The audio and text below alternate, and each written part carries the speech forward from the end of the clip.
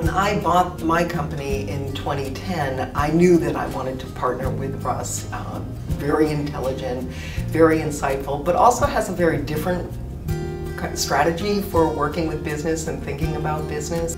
I really found that he was thorough, he was fun, he was creative, and that we worked well together and that what he really brought to the table was something very different.